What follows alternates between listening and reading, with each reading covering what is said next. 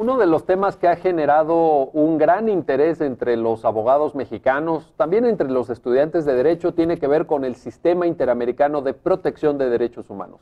Para hablarnos de algunos aspectos de este sistema, tenemos hoy el verdadero lujo, el gran privilegio de contar con uno de los mayores expertos reconocido a nivel nacional e internacional, un jurista de una talla verdaderamente inusitada, que es don Sergio García Ramírez.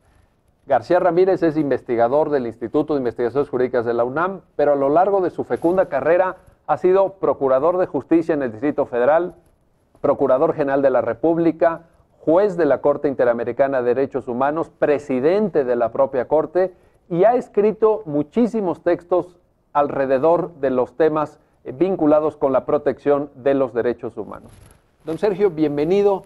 Pues cuéntenos en qué consiste este sistema de protección de derechos humanos y sobre todo, ¿por qué los abogados mexicanos deberían de interesarse en este, en este asunto? Muchas gracias. Antes de abordarlo, si usted me permite, doctor Carbonell, quiero corresponder a sus expresiones tan generosas.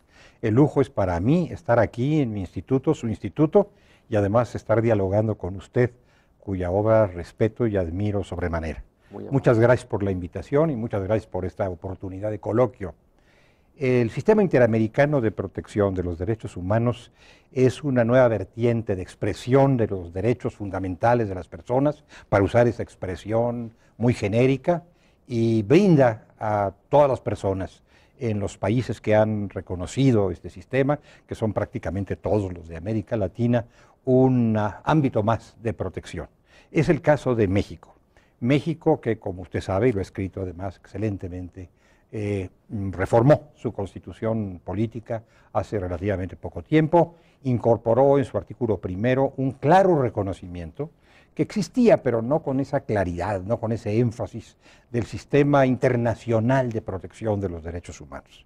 Así que ahora estamos eh, eh, amparados, o debiéramos estarlo, por esa doble vertiente de los derechos fundamentales. Es decir, por un lado... La Constitución misma, con sus textos tradicionales, digamos, y los nuevos. Y por otro lado, los tratados internacionales que nos aportan nuevos medios de defensa y nuevos derechos. Pero mí usted preguntará. No, incluso, incluso al mismo nivel, ¿verdad? Al mismo nivel. Es decir, ahora ya parece que la diferencia entre derecho interno y derecho internacional, pues eh, se refiere solamente a la fuente de origen, pero para efecto práctico, nosotros tenemos todos los derechos de la Constitución y de los tratados internacionales. Esto Lo ha hecho usted con gran corrección y lo ha escrito con esa misma corrección, tanto usted como algunos otros juristas, por ejemplo el doctor Fixamullo. Tenemos derechos de doble fuente, una fuente nacional, el constituyente o el poder revisor de la Constitución, que son las normas nacionales, las normas que ya estaban en nuestra Constitución y las que se vayan agregando. Y por otra parte, un derecho de fuente internacional, pero que es derecho nacional,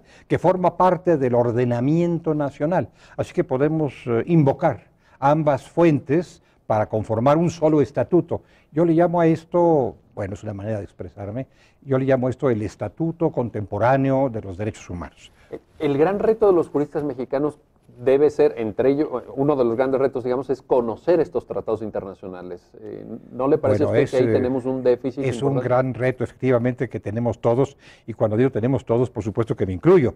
El número de los tratados internacionales sobre derechos humanos, por una parte, y el de los tratados o pactos o convenios internacionales que contienen derechos humanos, aunque no sean sobre derechos humanos solamente, es muy amplio. La propia Suprema Corte de Justicia ha expuesto una lista de este número verdaderamente notable de tratados internacionales que tenemos que conocer. Creo que va a ser un poco complicado que todos conozcamos todos los tratados, pero por lo menos, desde luego, los servidores públicos están llamados a cumplirlos y los juzgadores. Bueno, y los abogados deberán conocer los más importantes, por ejemplo, la Convención Americana de Derechos Humanos, el llamado Pacto de San José, que conforma la columna vertebral ¿no? de nuestro sistema interamericano. Yo diría que, a reserva de que traten de conocer todos los tratados, de que tratemos de conocer todos los tratados, no presumiré de que los conozco, por supuesto, habría dos sobre los que vale la pena llamar la atención, eh, o dos conjuntos los pactos internacionales de Naciones Unidas, de derechos civiles y políticos uno, de derechos económicos, sociales y culturales otro,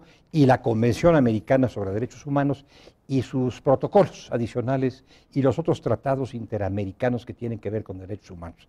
Este conjunto mm, debe ser conocido y se encuentra involucrado en lo que ahora llamamos, o llaman muchos, el bloque de constitucionalidad. Yo creo que existe un bloque de constitucionalidad. Yo creo que constitución no es solamente para los fines a los que estamos aludiendo lo que está escrito en la Constitución Política de los Estados Unidos Mexicanos de 1917, reformada por el constituyente, sino eso, sin duda, y todo este acervo, todo este conjunto de tratados internacionales. Ese es nuestro nuevo bloque de constitucionalidad. Doctor, cuéntenos de la vertiente institucional. estamos hablando, nos ha mencionado usted los tratados internacionales, la nueva normatividad, el bloque en el cual se integran tanto la Constitución como los tratados, pero el sistema interamericano tiene una expresión institucional, tiene órganos de garantía y defensa. ¿Qué nos puede eh, eh, exponer sobre ese asunto? Déjeme decirle que tener declaraciones o tener tratados sin tener los medios de que estas declaraciones o estos tratados aterricen, se conviertan en realidades invocables por el individuo, invocables por el ciudadano, pues sería tener algo, pero no lo suficiente. Es necesario que haya instituciones a cargo de la aplicación de estos tratados, a las cuales se pueda recurrir. Como lo hacemos en México, tenemos una constitución, pero también nos valemos del juicio de amparo, por ejemplo, o de las comisiones de derechos humanos para que esta constitución aterrice en nuestras vidas concretas. Bueno, esto ocurre de manera similar en el ámbito internacional y particularmente en el ámbito interamericano.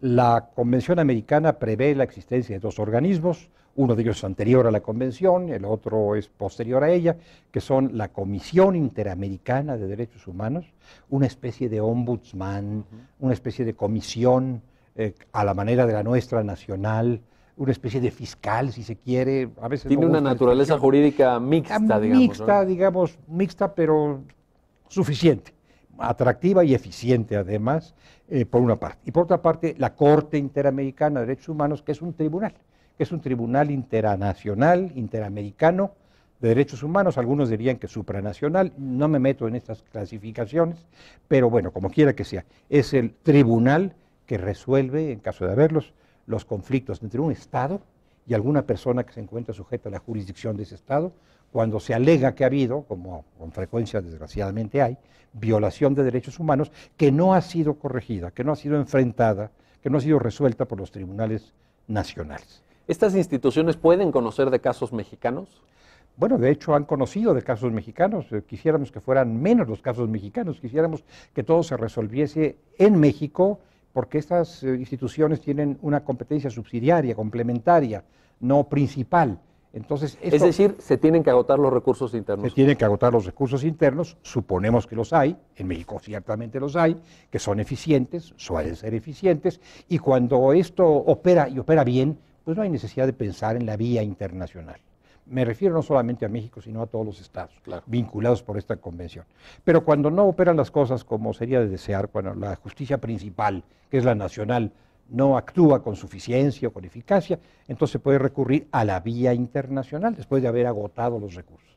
Hay casos en que no es necesario agotar los recursos, pero no nos metamos en las excepciones, sino que en términos generales hay que agotarlos y solo después se va a la vía internacional por conducto de la Comisión Interamericana y desde ahí se puede eventualmente arribar a la etapa ante la Corte Interamericana, que ya es una etapa judicial.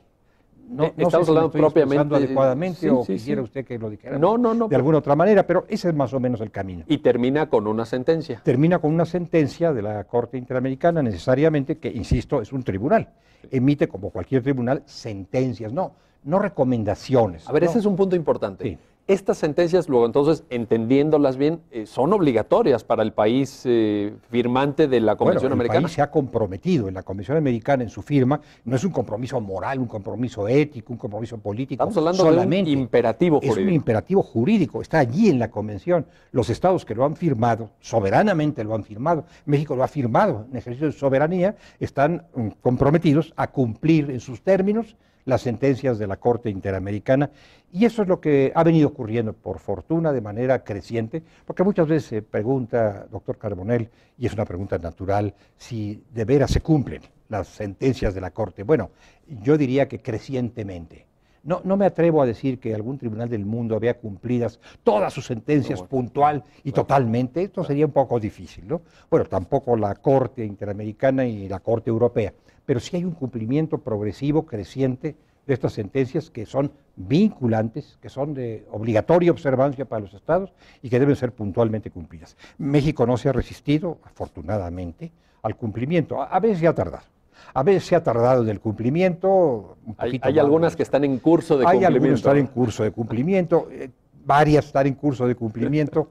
Hay algunas que son particularmente complejas, que, contienen muchos puntos resolutivos o resolutorios, eh, que no son de tan sencillo cumplimiento, pero se va avanzando. Ahora, lo que me parece muy importante, no es solamente que sea de cumplimiento puntual, por supuesto que es importante, es que el Estado mexicano, y esto lo digo en abono del Estado mexicano, no ha puesto piedras en el camino.